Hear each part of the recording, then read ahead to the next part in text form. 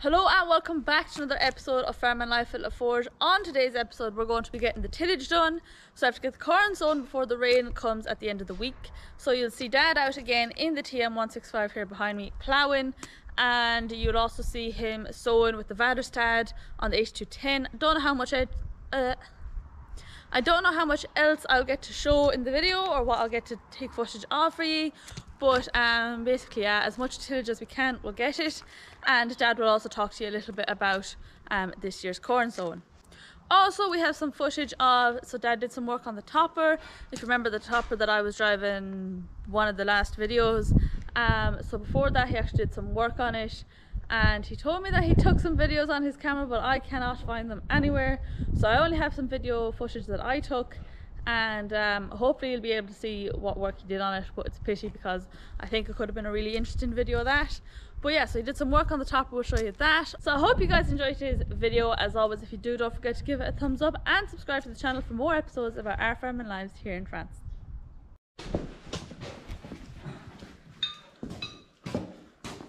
So we're back at our topper here. It's a sliding, this yoke slides back and forth so you can hit in around trees. It's a flail topper as I was showing you the other day. Now I was joined with a neighbour and he bent this spare that had slides on. It goes through this here. So I have a drilling rod there and I want to put that in it. That won't uh, break. So just have to do a bit of better repairs here and just change this about. Uh, we have the timber bearings in now. There they are. So we have timber there. We have the steel on top and bottom so the weight is not on the bolts. and we have a grease nipple. And that plate in is to stop this big roller going from side to side. That's uh, that rolls there. So there's all the new teeth are in. hang on I got a light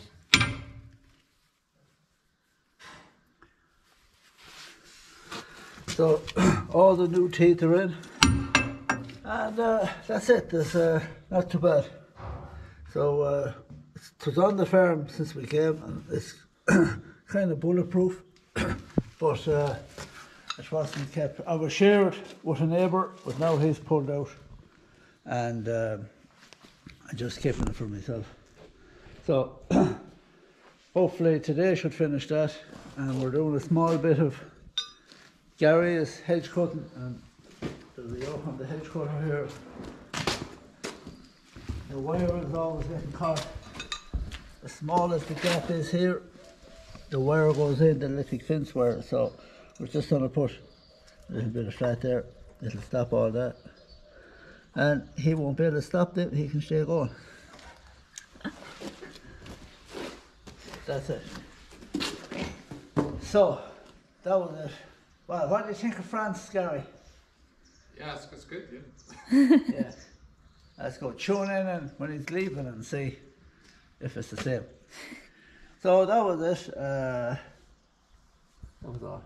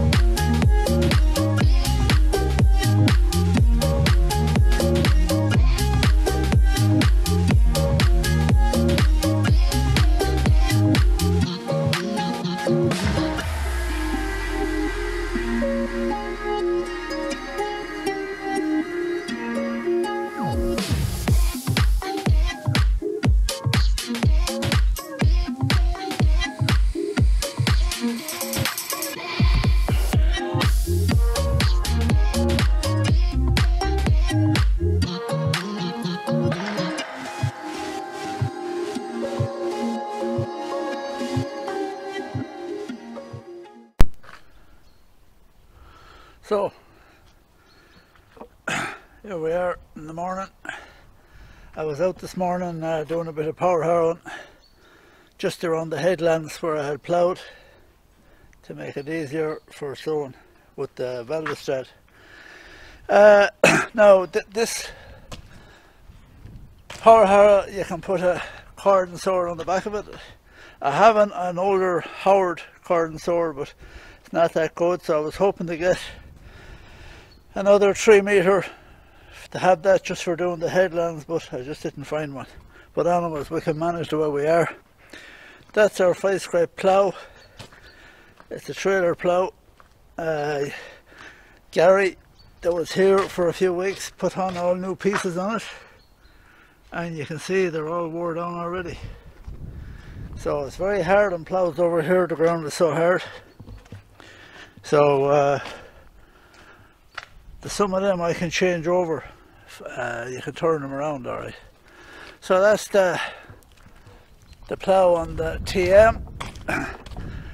I have the, the power harrow on the TL because when I go over to the other farm in the morning, like this morning, I was able to give out bales to the cows over there. So then, this is the Kverneland 6.3 meter roller, uh, and that's on the 7.7.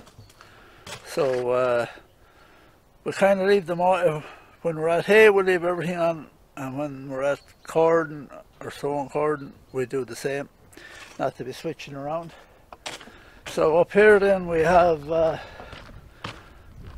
it's a lovely sunny day, hopefully get that the last of that corn into the end tomorrow. Well, the last of that wheat will be today. Now that's the sprayer on the 83, so we do after sowing the corn, we spray. So that the front tank and all on it there, and it has GPS. So uh, I do always try to bring the camera with me, but either do forget to work it or uh, one thing or another. I don't know how all these other lads are able to drive drones and everything and work tractors. I'm not. So uh, between the front and the back, it brings 2,000 litres and there's wide tires on it. Now, normally I used to always use that tractor for with the cordon rail, but uh, it's better at the, has the front linkage and all for the sprayer. So that works well, has a, an accordion boom. So then the 82 this year is on the cordon drill, the Vaderstad. Now if you remember last year, people to follow, were, there were, uh, we had planned to uh, go to a bigger cordon drill. So then the last couple of years cordon over here hasn't been very profitable and we kind of came to a decision that we'd stick with what we have. So we're going to actually, there's a good bit of work to be done once all new discs and it wants there for, it works really well. It's very fast. Um, so we're going to tip it up and it wants new tires, Packer tires on the back. It wants, I think, five or six new tires. And we were pricing uh, we priced other ones and they weren't much better than that and they were awfully expensive. So uh, now as well as that, uh, the grants have all changed this year as well. And uh, there's, there's more grants now for grass farming than there is for tillage. So now that wasn't the reason, we just said we'd wind down because uh, with the labour and the price of corn and the price of fertiliser and the price of sprays and talking about sprays then as well, uh, Roundup, there's a lot of new rules and regulations this year on Roundup. So uh, that's changing it as well. You can't spray Roundup here in October now anymore, so uh, that's tightening things up and they're on about in the next two or three years Roundup will go altogether. So uh, that'll make it hard as well to stay at tillage and control the weeds. so this year we have about 74 acres and hopefully today or tomorrow I should finish it. And uh, then it's just on cattle and doing a bit of maintenance on sheds and that for the rest of the year. Well, and hedge cutting. So uh, I like the Vaderstad well, so I'm going to spend a bit of time on it this year. We have it seven years now, never give us an ounce of bother, and um, the beauty I like about that is it holds. There's some of our seed there. It holds uh, over a ton, so you can stay going for a long time. Whether if you had the the one on the back of the power harrow, uh, you're filling it three or four times a day. And that takes up a good bit of time. Now the 82 was working real well with it, and it's well to pull it, and uh, that was it. Now we have ploughed, we have ploughed most of the ground this year uh, because we're moving into new ground because of a lot of wild oats and weeds last year. And we had the technician out from the co-op giving us advice and showing us the best way to do it this year. I'm not an expert at corn. Uh, and he was saying that why the weeds are building up on everyone the last couple of years is uh, that's direct drilling is when you go out in September to do the spraying, uh, there's no weeds there because it's so dry. And um, so la last year when we went out uh, in September, uh, there was actually nothing there really to spray. Roundup only, only works if it, whatever is grown, it'll kill it, but it won't kill the seeds. so um, even though we had a disc and all with her with her disc, uh, it still didn't work. So this year we're, that's why we're doing a lot of ploughing. Now there's two fields we didn't plough, and uh, th that uh, we just did it the normal way, direct through it. So as well as that now we're sowing, the last field we're sowing is in triticale. So we've got some new seed here for it. Haven't sowed it in a while and uh, that's it there. I think we're sowing about four, four and a half hectares of it. Uh, the field is a little bit heavier than normal. Now triticale is a real survivor. Uh, it grows awful high, it grows right up to my shoulder nearly. Uh, doesn't yield as much, but to say it's um, it's better feed than wheat for cows. Uh, and if the co-op is buying it off you, um, if the co-op is buying it, it uh, it's more expensive than wheat as well. So you have nearly twice as much straw, and you have well, you have less corn, less grain. So uh, there's the 5000 and the 730. That was still doing a bit of topping. And uh, I'll show you, well, the disc might be going onto it now again. so this is our uh, disc, our cover crop, whatever you want to call it. It's uh, six meters wide and uh, it's we use it uh, a good bit, not so much this year because we're ploughing, uh, and it has a a seeder there if you want to uh, do put in cover crop after after cutting corn. Um, she just goes straight over it, does a nice job. It's hard enough to pull. Normally I do have it on the 8730 or the TM. I have nothing else here fit to pull it. Um, it's not that old. It was only a year old when we bought it. Uh, there's one disc off it there now. So, uh, what do you call it? You won't see that in action now for the rest of this year, but uh, we will have it out again. So, that's all.